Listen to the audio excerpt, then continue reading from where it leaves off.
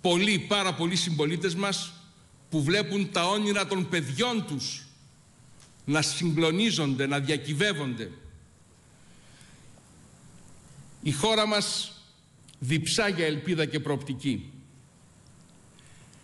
Πώς μπορούμε να απευθυνθούμε σε πολίτες που έχασαν ή φοβούν ότι θα χάσουν τη δουλειά τους, που είδαν την επιχείρησή τους να κλείνει ή που αγωνίζονται να την κρατήσουν ζωντανή; Πώς μπορούμε να απευθυνθούμε σε χιλιάδες εργαζομένων και συνταξιούχων που είδαν το μισθό και τη σύνταξή τους να μειώνονται.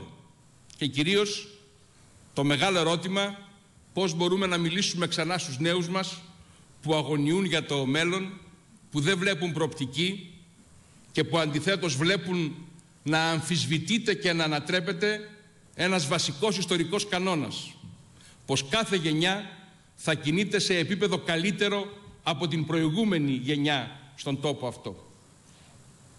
Άρα έχουμε την υποχρέωση να κατανοήσουμε το κοινωνικό μας περιβάλλον και να αντιληφθούμε πόσο δύσκολο είναι να απευθυνθούμε σε ένα δύσπιστο, καχύποπτο ακροατήριο που δικαίως στηρεί αυτήν την επιφυλακτική και απορριπτική στάση.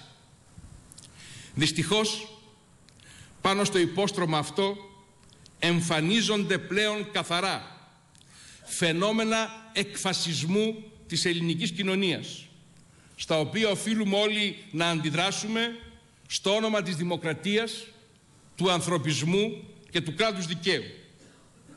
Η Βουλή των Ελλήνων δεν μπορεί να γίνει χώρος υποδοχής των νοσταλγών του φασισμού και του ναζισμού.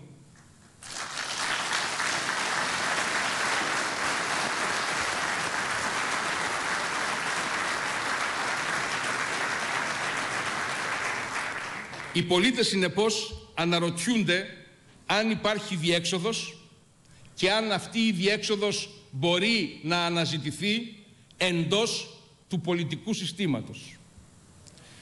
Είναι όμως πάρα πολλοί αυτοί που πιστεύουν ότι πολιτικό σύστημα είναι μόνο τα κόμματα που άσκησαν με τον ένα ή τον άλλο τρόπο εξουσία. Πίσω λοιπόν από την έννοια του πολιτικού συστήματος και την κρίση του κρύβονται επιμελώς πολιτικές δυνάμεις που δεν θέλουν να αναλάβουν την δική τους ευθύνη όσοι τους αναλογεί και ακόμη χειρότερα πίσω από την κρίση και την ευθύνη του πολιτικού συστήματος κρύβονται ολόκληρα συστήματα εξουσίας οικονομικής, επικοινωνιακής, ιδεολογικής που δεν αναδέχονται κανένα ποσοστό ευθύνης και βρίσκουν υποτίθεται την ευκαιρία της δικής τους εξηλαίωσης με την απλή μέθοδο να ρίξουν στην πυρά την πολιτική και τους πολιτικούς.